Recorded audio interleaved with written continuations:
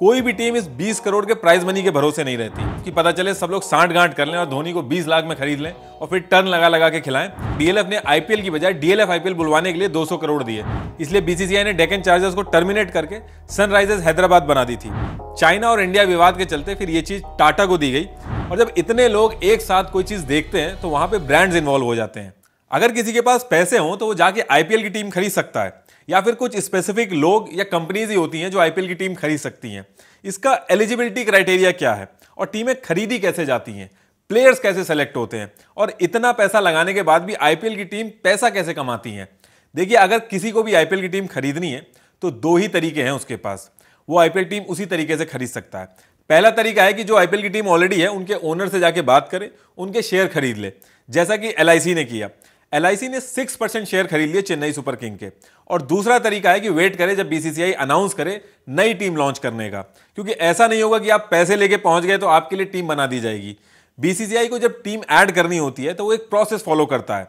जब BCCI invite करता है लोगों को टीम खरीदने के लिए तो वही टीम अप्लाई कर सकती है, जिनकी वैल्यूएशन थ्री करोड़ से ज़्यादा हो। देखिए वैल्यूएशन को आप मोटा मोटी ऐसे समझ लीजिए कि एक कंपनी की कमाने की क्षमता अगर एक कंपनी को बेचा जाए तो उससे कितने पैसे मिलेंगे? रेवेन्यू और प्रॉफिट के बेसिस पे डिसाइड होता है। तो जब बीसीसीआई इनवाइट करती है तो जो एलिजिबल कंपनीज़ होती हैं, उनको आईटीटी इन्विटेशन टू टेंडर खरीदना होता है, जिसकी कॉस्ट होती है दस लाख रुपए प्लस जीएसटी ये नॉन रिफंडेबल फ़ीस होती है। इसके सारे टर्म्स एंड कंडीशन लिखे होते हैं। इसके बिना आप आईपीएल की बिडिंग प्रोसेस में बैठ नहीं सकते। अभी आईटीटी किसी दुकान पे तो मिलेगा नहीं। इसके लिए आपको ईमेल करना होता है। जैसा कि इस बार बीसीसीआई ने कहा था 2021 में कि जिसको भी आईटीटी चाहिए पाँच अक्टूबर 2021 से पहले वो ईमेल कर दे ITT IPL 2021 at BCCI dot TV पे। और ज़रूरी नहीं है कि आपने आईटीटी खरीद लिया तो आप बिडिंग प्रोसेस में बैठ ही जाएँगे। बिना किसी नोटिस बिना किसी रीजन के आपका आईटीटी कभी भी कैंसिल हो सकता है। जो लोग इसमें से शॉर्ट लिस्ट होते हैं, सिर्फ़ उनको ही बिडिंग प्रोसेस में बैठने का मौका मिलता है। बिडिंग प्रोसेस में जो टीम होती है, उनका एक बेस प्राइस होता है। नॉर्मली ये 1700 से 1900 करोड़ के बीच में होता है कि इससे कम में तो टीम नहीं बिकेगी। उसके बाद बोली लगती है और जो ज़्यादा पैसे देता है टीम उसकी हो जाती है। जैसा कि इस बार लखनऊ सात हज़ार और अहमदाबाद पाँच हज़ार करोड़ से भी ज़्यादा में बिकी थी। टीम खरीदने के बाद आपको प्लेयर्स खरीदने होते हैं। कौन से प्लेयर्स पे बिडिंग होगी, इसके लिए प्लेयर्स को भी अपने आप को रजिस्टर करना होता है। अब अगर मैं क्रिकेट खेलता हूँ तो क्या मैं अपने आप को रजिस्टर कर सकता हूँ? तो ऐसा नहीं है। तीन तरीके से प्लेयर्स अपने आप को रजिस्टर करते हैं। पहले होते हैं कैप्ड प्लेयर जिसने अपनी ज़िंदगी में एक भी मैच टीम इंडिया से खेला होता है, उनको कैप्ड प्लेयर बोलते हैं। दूसरे होते हैं विदेशी टीम्स के प्लेयर और तीसरे होते हैं अनकैड प्लेयर इन प्लेयर्स को स्टेट एसोसिएशन अपने स्टेट से सेलेक्ट करके भेजती है। ऐसे करके अराउंड 1100 से 1500 प्लेयर्स का पूल बन जाता है, जिसमें से 500 या फिर 600 शॉर्टलिस्ट होते हैं। इसका सबसे बड़ा एग्ज़ाम्पल है हार्दिक पांड्या। वो एक अनकैड प्लेयर थे, जो कि स्टेट के रिकमेंडेशन पे आए थे। जब एक किसान एपीएमसी मंडी में जाता है अनाज की बोली लगवाने तो बोली लगवाने वाले सांठ गांठ कर लेते हैं आपस में और किसानों को नुकसान होता है। इसलिए किसान एमएसपी की डिमांड करते हैं। सेम यही चीज़ आईपीएल में ना हो कि पता चले सब लोग सांठ गांठ कर लें और धोनी को 20 लाख में खरीद लें और फिर टर्न लगा लगा के खिलाएँ। इस चीज़ से बचने के लिए प्लेयर जब अपने आप को रजिस्टर करते हैं तो वो अपना बेस प्राइस सेट करते हैं। ये बेस प्राइस 20 लाख से 2 करोड़ के बीच में होता है। इसके बाद पूरे प्रोसेस में प्लेयर्स का कोई कंट्रोल नहीं होता है। एक ही टीम पैसे का ज़ोर दिखा के सारे अच्छे खिलाड़ी अपनी टीम में रख के वर्ल्ड इलेवन ना बना दे और आईपीएल का सारा मज़ा खराब ना हो जाए, इसलिए बिडिंग प्रोसेस के कुछ रूल्स बनाए गए हैं। एक टीम में 18 से कम और 25 से ज़्यादा प्लेयर्स नहीं हो सकते और 8 से ज़्यादा विदेशी प्लेयर्स नहीं हो सकते। हर टीम को एक लिमिटेड अमाउंट दिया जाता है, जिसे पर्स कहते हैं, और पर्स की लिमिट होती है। पहले लिमिट 85 करोड़ की थी और अब इसको 90 करोड़ कर दिया गया है। इस 90 करोड़ में से 18 से 25 प्लेयर्स की टीम बनानी होती है। पहले मार्की प्लेयर्स की बिडिंग होती है। मार्की प्लेयर्स यानी कि जो बड़े प्लेयर्स होते हैं, जिनका बेस प्राइस दो करोड़ होता है। और फिर ग्रुप्स में बिडिंग होती है। जैसे बैट्समैन के ग्रुप आएँगे, फिर बॉलर्स के ग्रुप आएँगे और उन ग्रुप्स में बिडिंग होगी। सही प्लेयर सेलेक्ट करना बहुत ही इंपॉर्टेंट होता है, इसलिए टीम्स डेटा साइंस का यूज़ करती हैं।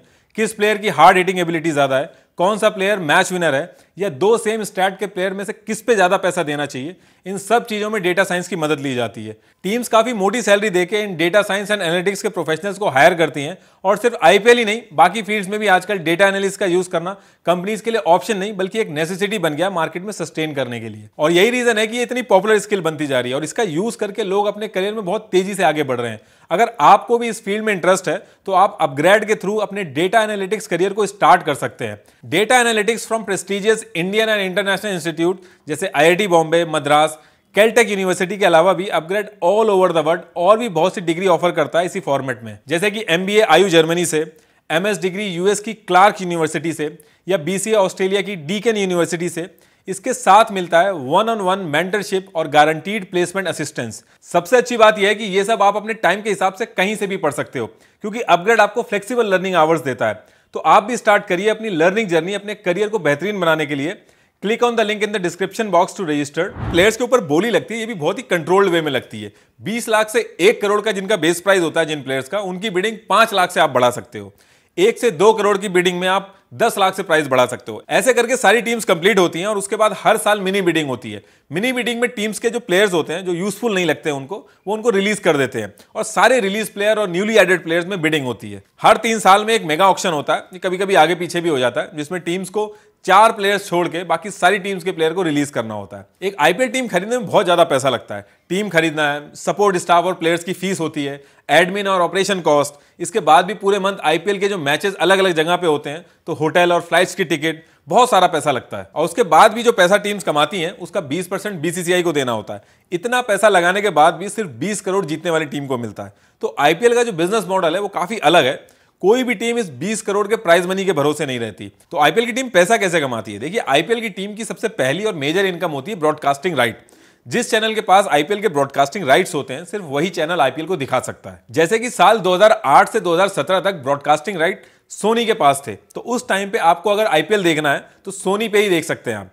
इस चीज़ के लिए सोनी ने 10 साल के लिए 8,200 करोड़ रुपए दिए थे। उसके बाद बिडिंग हुई और 2018 से 2022 तक के लिए स्टार इंडिया ने 16,347 करोड़ में ब्रॉडकास्टिंग राइट खरीदे।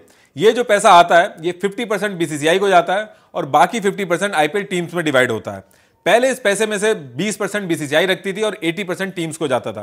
धीरे धीरे ये शेयर्स बढ़ा बढ़ा के अभी 50 50 परसेंट हो गया है। अब चैनल्स इतना ज़्यादा पैसा ब्रॉडकास्टिंग राइट्स के लिए देते क्यों हैं? ऑल ओवर वर्ल्ड में आईपीएल बहुत ज़्यादा देखा जाता है। अगर मैं 2019 के आईपीएल की बात करूँ तो 462 मिलियन लोगों ने आईपीएल देखा था। और जब इतने लोग एक साथ कोई चीज़ देखते हैं तो वहाँ पे ब्रांड्स इन्वॉल्व हो जाते हैं। मैच के बीच में जो आप 10 सेकंड का एड देखते हैं, उसके 12 से 13 लाख जाते हैं। ऐसा ये अमाउंट बहुत कम लग रहा है, लेकिन 45 डेज़ के पूरे इवेंट का जब आप टोटल करोगे तो बहुत बड़ा मुनाफा होता है। इसलिए सारे चैनल्स बोली लगाने के लिए रेडी रहते हैं। दूसरा सोर्स ऑफ़ इनकम होता है टाइटल स्पॉन्सरशिप आपने देखा होगा आईपीएल को कभी भी खाली आईपीएल नहीं बोला जाता है। कभी उसको डीएलएफ आईपीएल कभी वीवो आईपीएल कभी पेप्सी आईपीएल और आजकल अब टाटा आईपीएल बोला जाएगा। आईपीएल को सिर्फ़ आईपीएल की बजाय अपनी कंपनी के नाम के साथ बुलवाने के लिए कंपनियाँ काफ़ी पैसा देती हैं और हर कंपनी चाहती है अपना नाम जोड़ना। इसलिए इसकी बोली लगती है, जिसे टाइटल स्पॉन्सरशिप कहते हैं। 2008 से 2012 तक डीएलएफ ने आईपीएल की बजाय डीएलएफ आईपीएल बुलवाने के लिए 200 करोड़ दिए। फिर अगले तीन साल के लिए पेप्सी ने 396 करोड़ दिए। उसके बाद वीवो ने 2199 करोड़ दिए 2018 से 2022 तक के लिए। चाइना और इंडिया विवाद के चलते फिर ये चीज़ टाटा को दी गई 300 करोड़ पर ईयर में। इसका जो भी रेवेन्यू आता है 60 परसेंट बीसीसीआई रखती है और 40 परसेंट टीम में डिवाइड हो जाता है। जिस ग्राउंड में मैच होता है, उस ग्राउंड में टिकट प्राइस क्या रहेगा, ये होम टीम डिसाइड करती है। On an average five crore की टिकट सेल होती है, जिसमें से 80 परसेंट होम टीम रखती है और बाकी का जो उस पर्टिकुलर ग्राउंड का एसोसिएशन होता है, उसको जाता है। टीम के प्लेयर्स जो टी शर्ट पहनते हैं, उसमें अगर आप कोई भी लोगो या नाम देखेंगे तो उसके लिए ब्रांड पैसे देते हैं। पूरे मैच के दौरान उस ग्राउंड की बाउंड्री के अंदर कोई भी कंपनी का नाम आप देखोगे, जैसे कि बाउंड्री रोप्स पे विकेट्स पे हेलमेट पे बैट पे एम्पायर की टी शर्ट पे जहाँ जहाँ भी आप नाम लिखा हुआ देखोगे किसी कंपनी का वो सब के लिए पैसे मिलते हैं टीम्स को। इसके बाद टीम के ओनर अपनी टीम के प्लेयर से दूसरी कंपनियों के ऐड भी करवाते हैं। जो भी एड्स टीम की जर्सी पहन के प्लेयर करते हैं, वो टीम के ओनर के पास जाता है पैसा उसका। इसके साथ साथ हर टीम ओनर के खुद के ब्रांड्स और प्रमोशंस भी होते हैं। वो प्लेयर से ही करवा लेते हैं वो अपनी टीम के। जैसे कि आपने देखा होगा एड वो जियो दंदनादन इसके बाद हर टीम की अपनी मर्चेंडाइज होती है। टीम के नाम की T shirts bat kits cups वगैरह अलग अलग प्रोडक्ट्स ऑल ओवर इंडिया में बिकते हैं और इसका सारा पैसा डायरेक्टली टीम के ओनर्स को जाता है। इसके बाद सबसे लास्ट में ध्यान जाता है विनिंग अमाउंट पे। विनिंग टीम को 20 करोड़ मिलते हैं और रनर अप को मिलते हैं 12.5 करोड़, जिसमें से 50 परसेंट टीम का ओनर रखता है और बाकी का जो 50 परसेंट होता है, वो प्लेयर्स में डिवाइड हो जाता है। भले ही कई अरेंजमेंट में बीसीसीआई रेवेन्यू में हिस्सेदारी रखता है, लेकिन उसके बाद भी फाइनल जो एक टीम कमाती है, उसका 20 परसेंट उसको बीसीसीआई को देना होता है। लेकिन फिर भी आपने देखा होगा कि टीम के ओनर्स बहुत दिल से चाहते हैं कि टीम जीत जाए। एटलीस्ट टॉप फोर में तो पहुँच ही जाए। वो इसलिए क्योंकि ये चार टीम जब क्वालिफाई करती हैं तो बाकी टीम्स के मैच तो बंद हो जाते हैं, लेकिन इन चार टीम्स को एक्स्ट्रा मैच खेलने को मिलते हैं। एक्स्ट्रा मैचेस मतलब एक्स्ट्रा टिकट्स एक्स्ट्रा स्पॉन्सर्स और एक्स्ट्रा पैसे। दूसरा फ़ायदा यह होता है कि जब टीम टॉप में पहुँचती है तो उसकी ब्रांड वैल्यू बढ़ जाती है। उसको बाकी टीम्स के कंपैरेटिवली ज़्यादा पैसे मिलते हैं ब्रांड्स और स्पॉन्सरशिप के। अब जो पैसा सीएसके एडवर्टीजमेंट का लेती है और जो पैसा पंजाब लेती है, दोनों में बहुत ज़्यादा डिफरेंस है। जो विनिंग टीम होती है, उसको एडवांटेज रहता है। दूसरी चीज़ होती है कि टॉप फोर टीम्स को चैंपियंस ट्रॉफी में जाने का मौका मिलता है। तो जैसा कि मैंने बताया कि वहाँ जाने पर उनको एक्स्ट्रा मैचेस खेलने को मिलते हैं तो जो प्रॉफिट सिर्फ़ आईपीएल तक रहता है, वो वहाँ पे मैच खेलने से और बढ़ जाता है। शुरू के 10 साल आईपीएल टीम्स घाटे में रही। ये वही टाइम था जब डेकन चार्जर्स अपनी टीम के खिलाड़ियों को सैलरी तक नहीं दे पा रही थी। इसलिए बीसीसीआई ने डेकन चार्जर्स को टर्मिनेट करके सनराइजर्स हैदराबाद बना दी थी। डेकन चार्जर्स तो उस टाइम पे सस्टेन नहीं कर पाई लेकिन बाकी टीम्स टिकी रही, क्योंकि ये सारी टीम्स के खुद के ब्रांड्स और प्रोडक्ट थे, जिनका इन्होंने आईपीएल टीम का यूज़ करके नेक्स्ट लेवल पे पहुँचाया लेकिन जैसे ही स्टार इंडिया ने मीडिया राइट्स दुगने और तिगने दामों में लिए, सारी टीम्स को प्रॉफिट आना शुरू हो गया और फिर टाइटल स्पॉन्सरशिप और बाकी एडवर्टीजमेंट के प्राइस भी एकदम से बढ़े। अब जो लोग आईपीएल के इस अरेंजमेंट के खिलाफ है, उनका कहना है कि मेन इनकम इनकी स्पॉट फिक्सिंग से होती है। एक दो केसेस जब राजस्थान और सी के दो साल के लिए बैन हुए, उसके अलावा मुझे कोई भी प्रूफ नहीं मिला जहाँ पे स्पॉट फिक्सिंग पकड़ी गई हो। तो अब ये होती है कि नहीं होती है, ये एक बहस का मुद्दा है।